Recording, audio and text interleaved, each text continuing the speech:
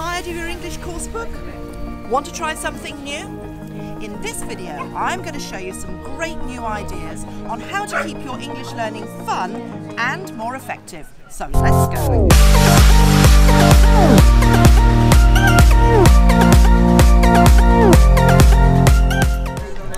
I'm Deirdre Nicholas from Palm Tree Teaching TV, teacher, speaker, and your personal English language coach. There's nothing more motivating than trying something new, is there? When learning is fun, you work harder, you learn more, and you remember more too.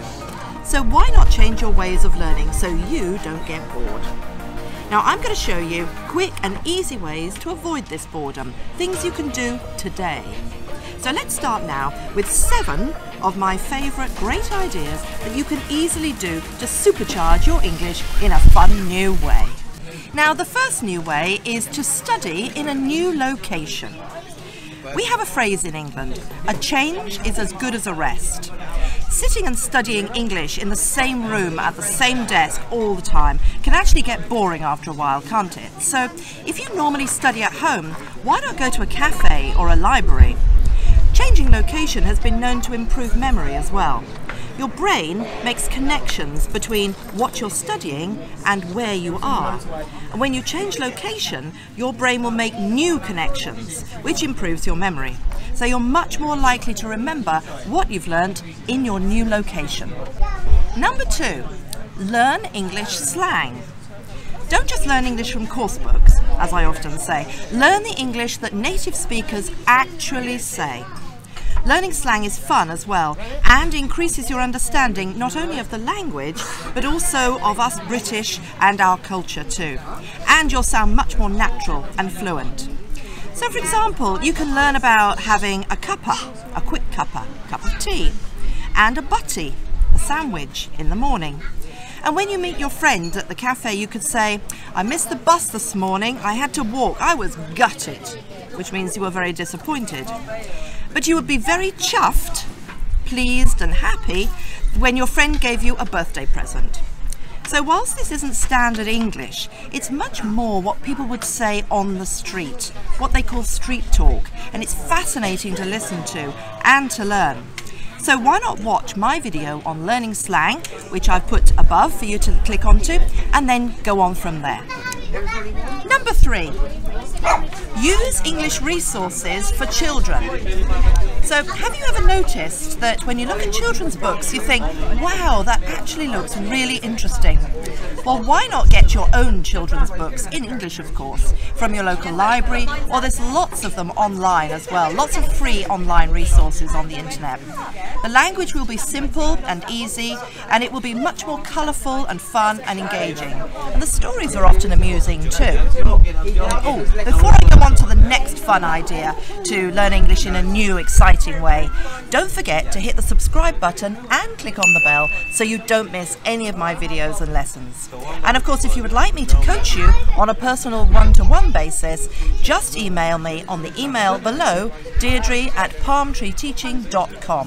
I can really motivate you and give you even more new and exciting ways to learn English. Number four, and my own personal favourite actually, is follow an English celebrity. This could be someone like Emma Watson. Stop, stop, stop. You're going to take someone's eye out. Besides, you're saying it wrong. It's Leviosa, not Leviosa. Put me down. Now. It's got a bit of a thing for you, Hermione, Cormac. He's vile. Now, what a beautiful British English accent she has. Absolutely beautiful. And if there's one thing which will not feel like studying, it's selecting your favourite celebrity or film idol and watching their films and interviews. Just make sure they speak good English. So if you choose someone like this actress, for example Emma Watson, who was Hermione in the Harry Potter films, you'll certainly get a fantastic British accent to listen to, and a fantastic British accent if you copy her. Now, why not go onto YouTube and watch the interviews with your English celebrity too, where they talk naturally in native speaker English, like this one of Emma. I feel like I'm in an incredibly unique and special position. I played Hermione Granger in Harry Potter, who was one of my kind of like childhood heroes uh, growing up. And then I also got to play Belle, who is another one of you know these characters that really kind of dominated and and and characterized a huge part of my yeah of my childhood and my growing up. Number five is take a linguistic study trip to the UK here with us.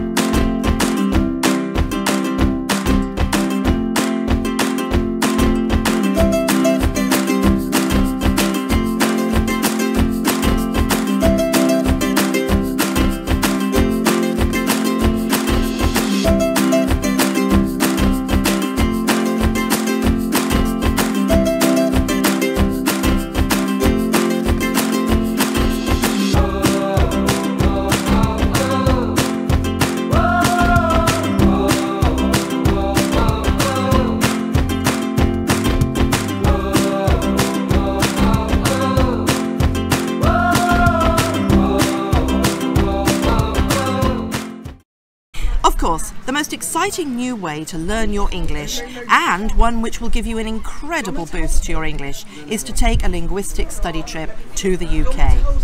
Now, many people I know are attracted to the bright lights of London, and there are, but there are also loads of lovely towns and cities across England. And on the whole trip, you'll hear lots and lots of native speaking English being spoken all the time. Just sit near people talking on the bus or on a park bench, you'll pick up so much real English. Like here in this restaurant near Bournemouth Beach, I am hearing English all around me all the time. At Palm Tree Teaching, we organise English study trips to London, of course, but also to many beautiful seaside towns on the south coast, like Bournemouth, which are very popular too. Lots of shopping you can get here and really friendly people. And we partner with the best schools, so you get top quality English teaching as well as a full immersion cultural experience too, of course. Now, if you're interested, please do contact us on Deirdre at palmtreeteaching.com. But don't worry if you can't manage this. On this YouTube channel, I try to give you a flavour of Britain and us British people and British English without you even having to get on a plane. Number six, sing karaoke to yourself, preferably, of course, in private. Do you like singing? Because if you do, English songs are a great way to learn English and English that real English people speak as well. So learn a few English songs and sing along to them like we do in England.